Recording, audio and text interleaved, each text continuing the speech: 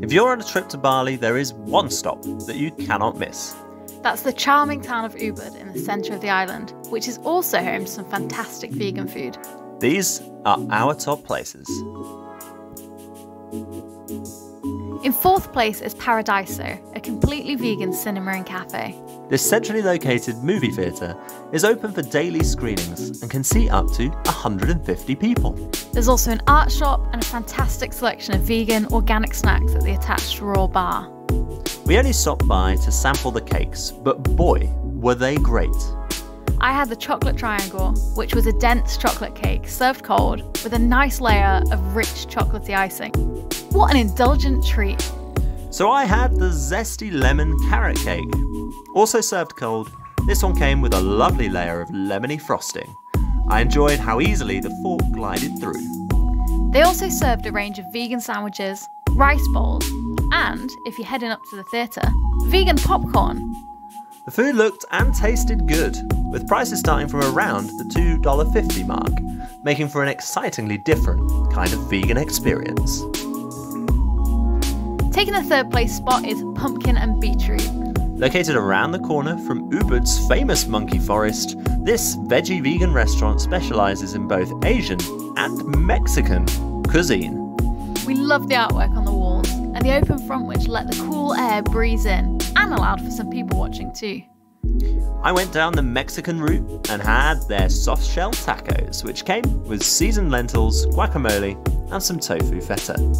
All of these flavours mixed well together and made for a very enjoyable lunch. Though, be warned, this one is very messy.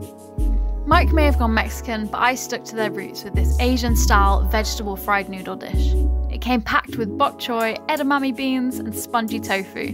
The flavours were subtle but delicious in this filling and healthy lunch dish.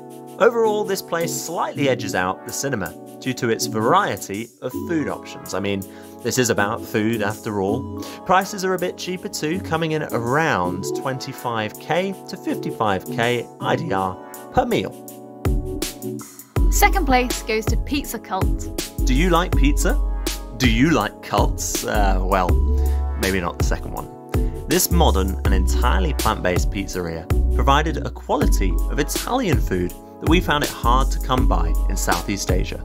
They had a really innovative menu that combined classics with some more creative toppings, even a pear and gorgonzola pizza. They also offered gluten free dough. Both the pizzas we ordered looked absolutely breathtaking. I went for their mock pepperoni pizza, and if there's one thing I miss, it's pepperoni and other varieties of spicy sausage. And this take on one of the most traditional of all pizza toppings did not fall short. The flavours were great and the dough was delicious. The only thing that could make it better is an extra sprinkling of cheese. Meanwhile, I chose the Smoky Jack, which was pulled jackfruit and tomatoes sprinkled with their homemade cheese. It tasted great, though sadly, when we checked, neither of our pizzas are on the menu anymore, as they like to rotate their options regularly. Overall, a little pricey, but that price comes with quality. Coming in at around 80k per pizza, expect to be full and satisfied.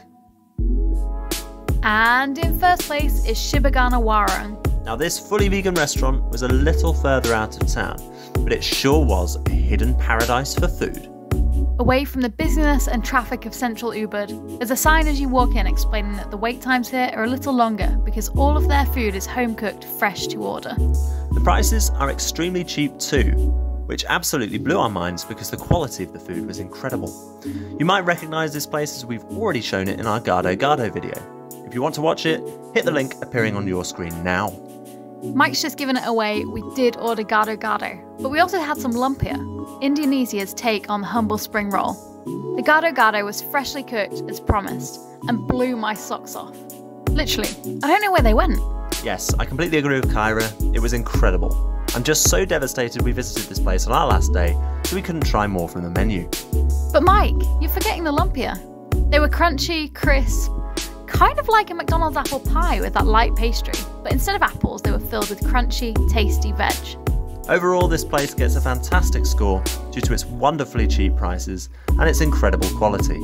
The serene surroundings create almost meditative vibes, so make sure you don't miss this place next time you're in Ubud. Thank you so much for watching. If you didn't already know, we're on Instagram, Facebook, and have a website where you can read an extended blog on this topic. If you haven't already, please click the subscribe button, like this video, and check out our channel. We have lots more like this and even more in the pipeline.